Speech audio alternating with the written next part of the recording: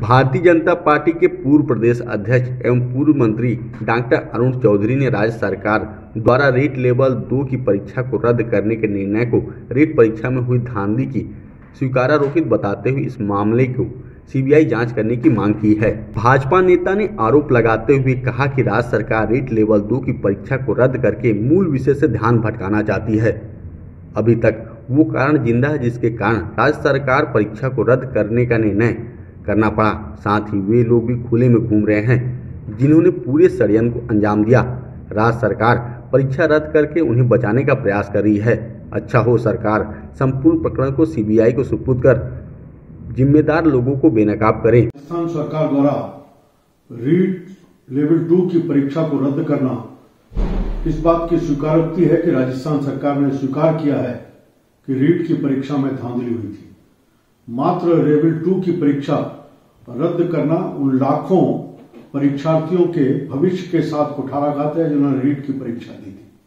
हमारी स्पष्ट मान्यता है कि राजस्थान सरकार ने जब स्वीकार कर लिया कि इस परीक्षा में धांधली हुई है तो हमारी एक ही मांग है कि इस परीक्षा, इस पूरी परीक्षा की निष्पक्ष जाँच हो और क्योंकि एसओजी राज्य की एजेंसी है और राजस्थान सरकार के नियंत्रण में आती है, इससे पहले भी एसीबी की जाँच में राज्य मंत्रिमंडल के सदस्य कुछ वरिष्ठ लोगों तक आज पहुँची थी तो उस जाँच को पूर्णता नहीं दे पाई।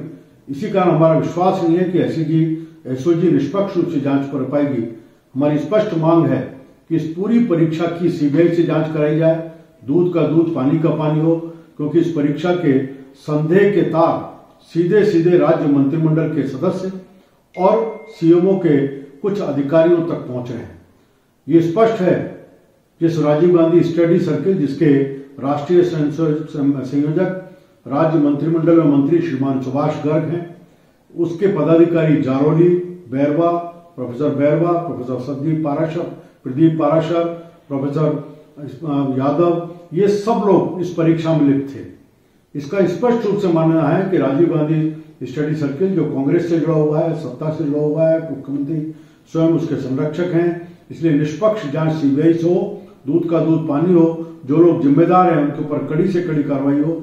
आज जो राजस्थान सरकार ने बासठ हज़ार लोगों की नई रीट की परीक्षा की घोषणा की है, उस परीक्षा की तैयारी यथावत जारी रहे और सरकार इस बात को सुनिश्चित करे कि आने वाले समय में होने वाली परीक्षा एक निष्पक्ष तरीके से हो। आम युवा को न्याय मिलना चाहिए, उसको उसको परीक्षा का सही सदुपयोग मिलना चाहिए।